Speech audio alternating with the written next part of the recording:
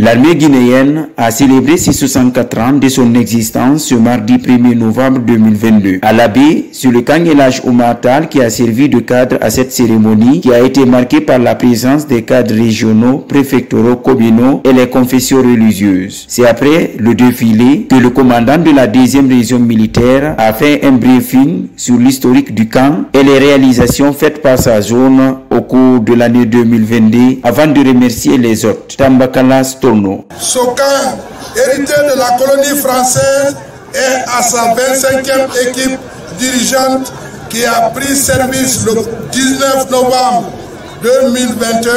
De cette date à nos jours, la portion centrale de l'abbé a fait certaines réalisations et a mené des activités fiables à travers les visites du terrain. L'organisation des patrouilles mixtes diurnes et nocturnes le long de nos frontières. La construction d'un poste d'appui à Doyantaya, zone réservée pour l'entraînement interarmé et celui de Niafou en cours d'exécution.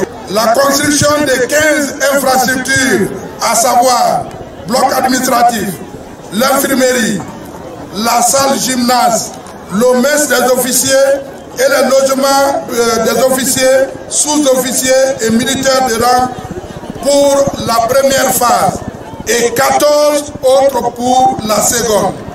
Pour terminer, nous adressons nos remerciements à tous nos invités qui ont bien voulu honorer de leur présence pour donner un éclat particulier à la présente cérémonie. Pour sa part, le gouverneur de la région administrative de l'Abbé est revenu sur l'historique et la bravoure de l'armée guinéenne, colonel Robert Souma.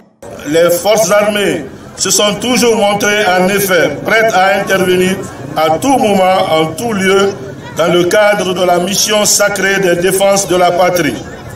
Elles l'ont montré partout, sur le théâtre des opérations, à l'occasion de nombreuses circonstances en Guinée, en Afrique, à travers le monde.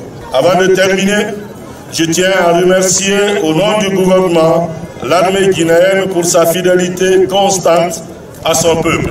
À noter que la cérémonie a été clôturée par la bénédiction des sages.